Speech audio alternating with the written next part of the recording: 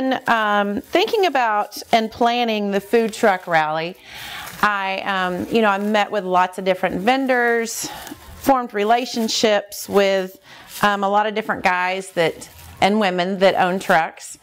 And when coming up with the concept of having a food truck rally in Sherman, um, you know, we wanted for the store, everyone was going to park outside the store. For the store, I wanted to feature three different desserts each time we did it. Um, that were meaningful to us and that I thought everyone would love and enjoy. So, um, for the food truck rally, one of the desserts that we featured was Mimi's chocolate pie. Um, if you know me at all, you know that most of my recipes are Mimi's. They all start with the word Mimi. It's it's kind of funny, but so I wanted to feature Mimi's chocolate pie. Um, one, so I just want to kind of very quickly run through how to make Mimi's chocolate pie. But I, you know, I'm, I'm going to give you the recipe here in just a little bit, but I just wanted to share with you a few things that I learned from Mimi um, in her kitchen when, you know, obviously she didn't use recipes. And I had to write down everything that she would do. But these are the things that I learned just by being next to her and, and watching her. So, one of the things that Mimi always did um, and always had, she always had pie crust ready in her refrigerator.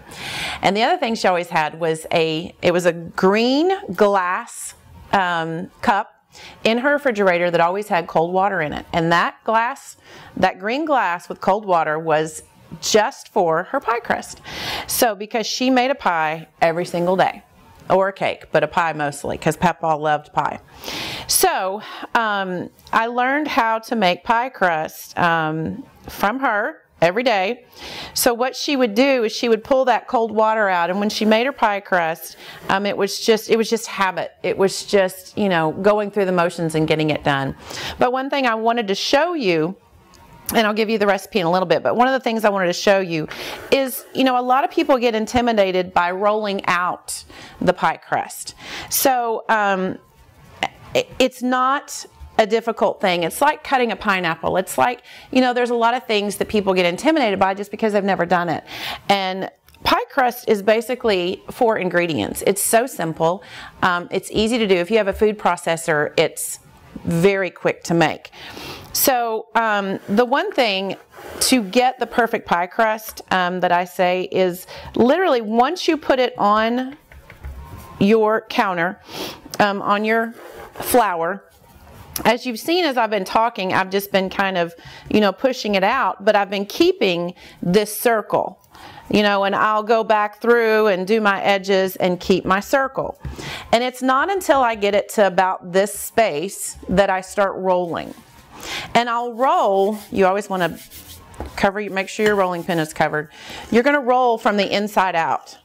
And you're going to um, give equal amounts of roll to every single corner of this round so that you're keeping a consistent um, thickness to your pie crust. And you can always go around and feel it like this to make sure you've got the, the right consistency.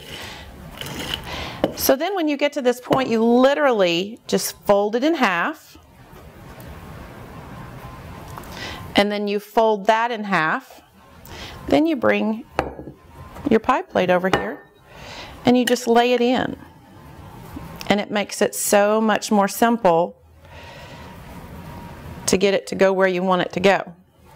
The other thing about pie crust is you don't, it's very forgiving once you get it in this pie plate.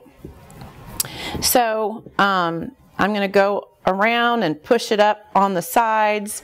And then all of this excess, I, unless it's a huge amount of excess, I don't cut it. I just roll it under and then create my edges. So I'm rolling to create an edge. I like thick crust edges. Um, I like a good a good bite of, of crust. Um, and I love the saltiness with the sweetness. So, and at this point is when you would start to make your pretty edge.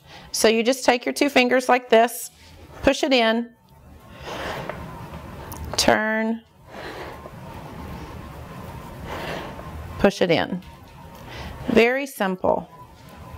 You know, because when this bakes off, people don't see this. You don't have to be perfect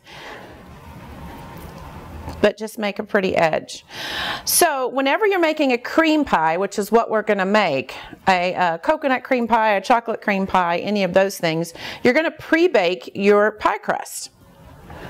So um, once you get to the stage, you're going to pop this in the oven. Um, if you're making a pecan pie or something like that, you would put your filling in while the pie crust is raw. But um, since we're doing chocolate pie today, I'm going to pop this in the oven. So